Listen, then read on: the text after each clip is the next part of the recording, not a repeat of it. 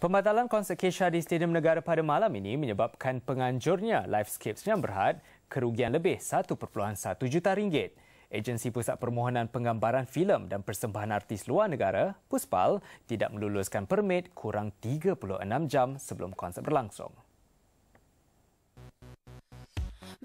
Menurut Livescape, permit untuk konsert Kesha Warrior itu ditolak pada saat-saat akhir walaupun mereka mengemukakan permohonan sejak 10 September lalu. Menerima dan menghormati keputusan Puspal, namun Livescape kesal kerana kos kerugian boleh dikurangkan jika Puspal memberitahu mereka lebih awal. Malah sehingga kenyataan dikeluarkan mereka tidak dimaklumkan sebab mengapa permit tidak diluluskan. Berpengalaman mengendalikan lebih 100 konsert antarabangsa, Livescape menyatakan mereka sentiasa memenuhi garis panduan yang dikeluarkan Puspal. Malah dalam permohonan, Kesha bersetuju untuk mengadakan persembahan bersesuaian dengan budaya negara ini seperti membuat perubahan kepada lirik dan pemilihan pakaian.